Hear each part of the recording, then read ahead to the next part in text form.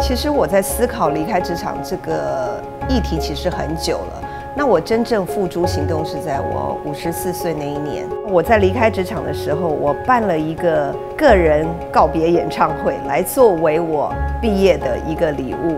我就希望我可以怀着一种好奇心、童心，那展开我的第三人生的旅程。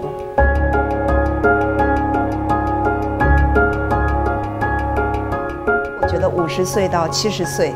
应该是新中年阶段，我的人生目标其实希望以后一路玩到挂。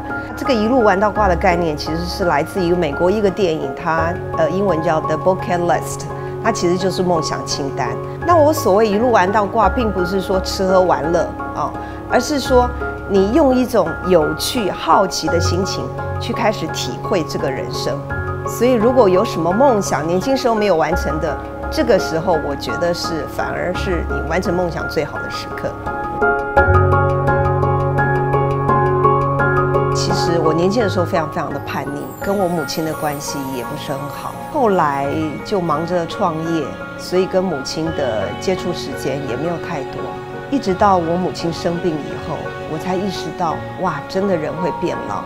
那我有一次呢，我就看到她脚趾甲好像很长了。后来我就跟我妈说，要要不要我帮你剪一下脚趾甲？她说好啊。后来我就端了一盆水，那在帮她泡脚，然后剪脚趾甲的过程当中，那个热水可能让她人也 soft，我也 soft 了。我们就开始聊一些过去的事情。后来她就一直很期盼我每个礼拜可以回去帮她泡脚。那那一段时间，其实我觉得是我跟我妈妈重新和解最棒的阶段。